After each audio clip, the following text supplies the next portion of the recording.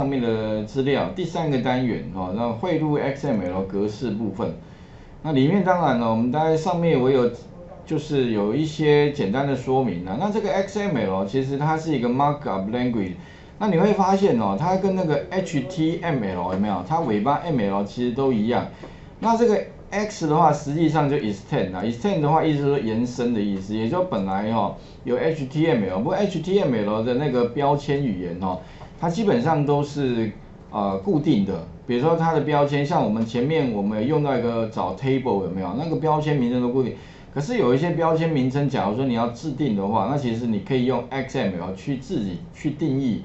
诶，那个那个名称呐，OK，那它目前的话呢，哈，它是一种广广泛的一种标准化的一个储存格式啦。那当然很多的资料交换哦，也会用到 XML，不过目前看起来好像，显然好像稍微比那个 JSON 来的差一点啦，OK，而且大部分我发现资料交换哦，用的比较多，好像用好像是微软的那个环境会比较常用的 XML。也不知道为什么，可能 XM 那个微软比较 prefer 用这个吧，OK。那微软好像比较不喜欢用 JSON，毕竟 JSON 的话不是它的，怎么讲？它它的那个吧，Java 环境可能比较喜欢，但是它就比较没那么喜欢。那其他的话呢，哈，像它优缺点大概稍微知道一下了哈。其实它优点的部分哦，它有很强的那个分层的结构了，所以一层一层一层的，有点像，你可以把它想象成这个就一棵。什么资料树？一棵树，一个 tree，那 tree 底下有有枝有枝在有叶，有没有？然后你最后你希望把里面的叶子里面的资料给取出来的话，那你只要一层一层的把资料找到之后，把把里面的那个最后的再把把它把它的呃资料给取回来哦。然后大部分浏览器都有资源，OK，也都可以去解析了哈。然后呃几乎所有。是这个呃适用所有的这个 API，所以有些 API 也会用 XML。不过我看好像比较多是微软的相关的呃产品会比较喜欢哈。那可以处理大量具有语义的这个意思的数据啦，也可以你你可以把某个资料做一个定义啦，哦 OK。然后它的缺点的话呢，当然具有相当当然相对的它的文件比较大，那为什么啊？甚至是 CSV 的三倍。待会大概就可以知道，我们随便抓一个哈，给各位看一下。那语法的话呢，甚至比 JSON 更更复杂，不过看起来好像这见仁见智吧哈。OK，那不像 Jason 那么简单。那 Jason 其实 key value 其相对是简单的哈，然后这个呃数据的储存重要性可能差一点，有时候可能比较容易被破解，哦，因为很容易解，就是找到那个 tree 哈，资料可以抓回来，好。那比如说，我们以这个 PM 二点五这个来当例，因为这个案例我们上一次在 Jason 里面就用过了。那你会发现它其实也有一样的在 XML，所以我们是用底下这一个好了。好，你可以检视资料。那你可以看到这边就有一个 XML 的一个资料连接，但是你点它它是下载了，所以点它，哎，这底下就下载下来。我刚刚已经下载过了，在这边出现了，有没有 XML？那把它开起来。那它一般浏览器可以解析是说，你可以把这个下载的这个诶档案呢，直接拖拉到，也许直接拖拉到那个浏览器吧，或者直接把它到丢到浏览器上面放开也可以。那你会发现它自动会开一个页签，自动把它展开。那你可以看到这边有有个箭头，有没有三角形嘛？你会发现哦，其实它长得有点像怎么讲？JSON 的概念有没有？之前 JSON Editor 你把它把它收收折。它里面就是一个物件，但是概念也雷同啊。不过它把它当一棵树一样，一个 tree 哈，这个有点像一个结构资料树了哦。那你会发现它有头，有没有？它的头一定是小小于符号开始，尾巴一定是大于符号结束啊。然后呢，它有一个 open 的一个头，有一个 close 尾巴，尾巴的话呢，跟头不一样的地方就是多一个斜线。哎，那你会发现这个架构哦，其实跟 HTML 是一样的，没错，所以它是 extend 嘛，延伸 HTML 的标签啊，这个标签名称可以制定哈当然你可以把它再再把它展开，所以哦，现在收起来对吧？展开，那你会发现哦，底下就有很多资料，那展开之后，你可以看到它的下一阶，这个有点像是一棵树，树的一个枝有没有？枝里面有有很多的。叶有没有叶子？那这个地方的话，data，那 data 里面的话又一层，一层的话你会发现它头跟尾啊，所以啊这个标签的开头跟这个标签的结尾中间的话就是它的内容。那如果我要把这个内容呢把它取出来的话，哎，那我只要什么一层一层的告诉他，再把底下这一层给抓回来就可以了。好，所以呢第一个。我假如哈，我的路径，我假设以以这一题来看好了，我们现在已经把它下载下来对哈。那如果说我今天呢，我要针对档案呢，比如说我们现在不是针对网络上面那个连接，而是针对这个路径的这个档案，我要去解析它的话，诶，那我要怎么解析？当然呢，如果 XML 如果你要解析的话，啊你们可以看一下这边底下有一个。诶，城市码啦，因为这个，我想底下的话，我是有先利用哦，Excel 二零一九以后的版本，不过 Excel 二零，我们这个版本我不知道有没有，从我看一下哈，资料里面有没有其他来源，有没有 XML？哎有，OK，所以其实也可以哦，透过 Excel 里面的什么呢？资料里面的这个功能，其他来源也可以对应到 XM，呃 XML。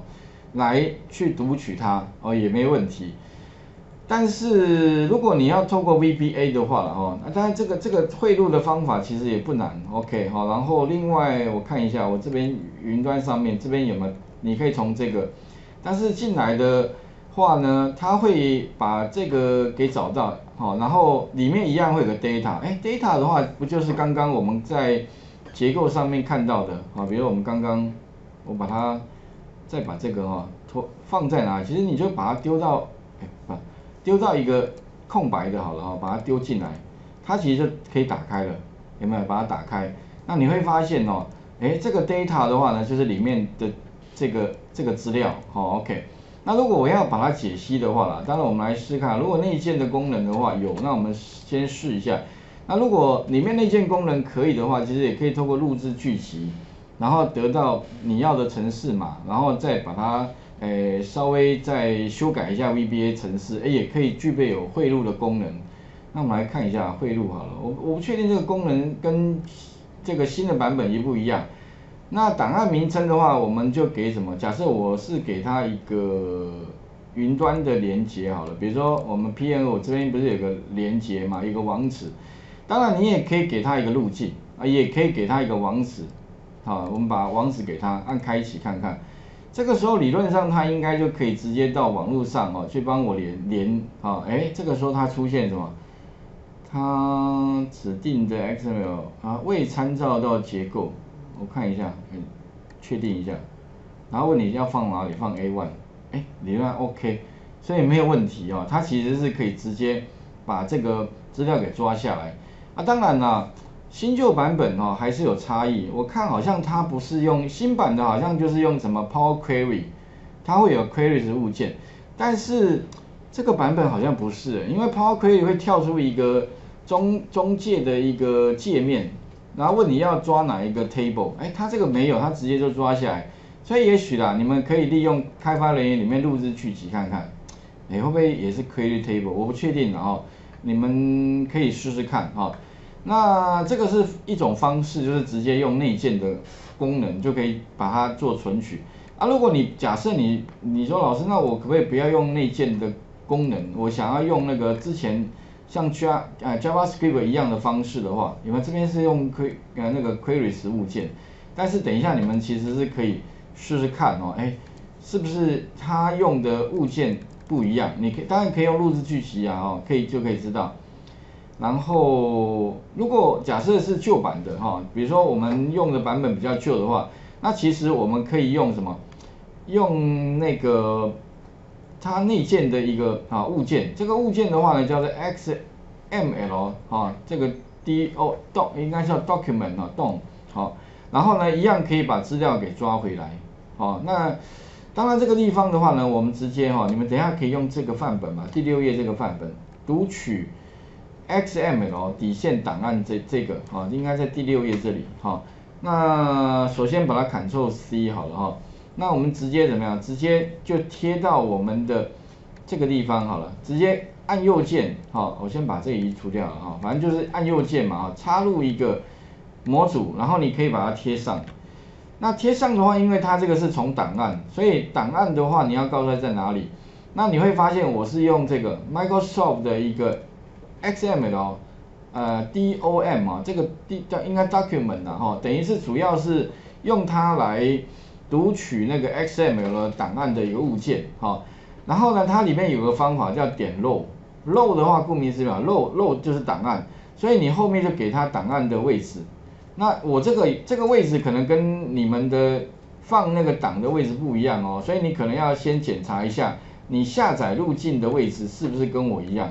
如果不一样的话呢，请你哈找到那个下载那个嘛，刚刚不是我们有点一下那个这个地方，开启资料夹中显啊，在资料夹中显示吗？啊，然后你点开之后，上面这边就会有个位置啊，我是建议你点空白处一下，它这边会出现它这个。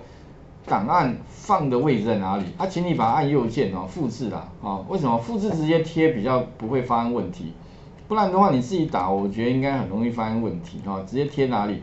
直接贴到那个城市的这个地方，有没有？C 冒号斜线的这个当落哈，把它贴上。那意思就是说哈，哎，我的这个档案哦是放在哪里呢？放在这个路径底下。OK，哦，啊，这路径这个一定要改哦，如果你没改的话，应该会找不到哦。还有呢，请你把那个档案也下载，那个那个档案应该就是这个名称啦，所以你可以不用改哈。我印象中这个名称应该没错。啊，如果你怕错的话，你可以再点它一下，哦，把它怎么复制一下，有没有？然后直接贴贴哪里贴着啊？副档名记得要加一下啊，就是 XML 啦哈。啊，只是说呢，如果你又怕有问题的话，我是建议呢，你检视里面哦。可以把那个副档名的这个地方打勾一下，它会出现副档名，因为有的同学常常会漏掉那个副档名，那一读取就发生错误了。好，所以呢，我们这这个啊这两行实际上就是什么？利用这个物件哦，帮我把 XML 读进来了，OK，漏进来了哦。所以漏进来之后的话呢，我们按照它有一个属性哈，有有一个。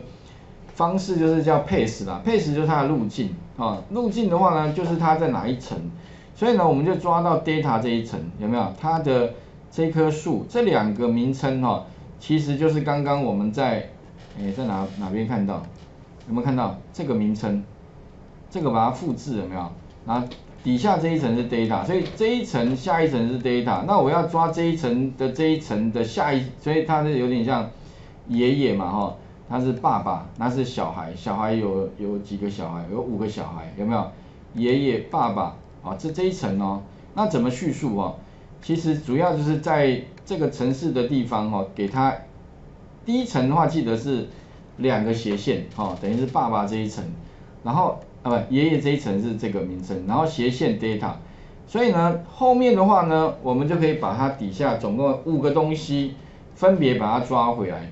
所以呢，底下五个东西，那都通通放在这个，诶，node list 啦，OK。那其中我一个一个抓，for each，for each 的话先抓第一个。所以抓第一个的话呢，理论上哦，就会先抓到这一个，有没有？先抓第一个哦，这个大臣。所以它，我就先把这总共五个资料呢，通通 get 回来。那 get 回来做什么呢？分别放在一二三四五。那当然，我上面第一列已经先给栏位名称，所以我就放在第二列。所以你看这边有嘛？A one 哦，到那个 E one 哦，这个地方是先给什么？给它的栏位名称，栏位名称有了，所以我接下来从第二列开始放哦，然后分别从 A 一二等等于一个萝卜一个坑，那分别呢，针对它的这个什么名称呢？哎，测就是你可以看到也是一样哈，这个名称一。二三四五啊，当然你如果怕错的话啦，建议还是什么，把它选起来复制贴上就可以了。贴在哪里呢？贴到这个 select single node 有没有？就是它的节点，节点名称叫这一个。把这个节点名称找到之后呢，那再把帮我把什么它里面的资料点 test，点 test 的话就是它里面的资料就这个东西，帮我把这个东西哈被抓回来。OK，啊放哪里呢？放在我的储存格里面。OK，好有没有？哪一个储存格？哦，那当然这个地方其实点 value 啊，其实这个不加也没关系的哈。那另外这个地方一到五哦，其实你也可以改成什么？改成 A 到 B 啦，这个都可以啦。因为呃蓝的叙述方法除了可以用文字之外，也可以用数字，看个人习惯。OK，如果当然打数字比较快了哈。好，那这个地方诶每跑一个，所以从 R 等于二，R 等于二指的是先放在第二列开始，然后每放一个呢就把 R 等于 R 加一，就是放放下一个换下一个。好。那这样的话呢，我们就可以把所有的资料呢，逐一的通通都把它解析到我们的 Excel 执行一下，哎，这样 OK 了。不过最后其实这个栏宽不足了啊，点点开，所以最后建议是什么？你可以再加一个什么？哎，Columns 有没有？C O L U M N S 哦，然后点什么呢？点 Auto Fit，哎，Auto Fit 就自动调栏宽。这样的话呢，它就会自动把栏宽给调一下，哦，就会看起来更整齐一些些。OK，哦，run 一下，现在蛮快的，run 一下，好没有？这个地方哦，执行，哎有没有？加一个 auto fit，栏宽就会自动调整，哎，看起来还蛮整齐的。那，所以呢，它就会一个萝卜一个坑的，把这个五个底层的有没有哈资料呢，分别呢丢过来，一个一个的丢，那就放在这边。先放第二列嘛哈，然后再放下一个，以此类推，就全部资料通通都下载下来。不过跟各位讲哦，这个方式哈，仅限于是什么档案哦，所以这个是一个档案哦，OK。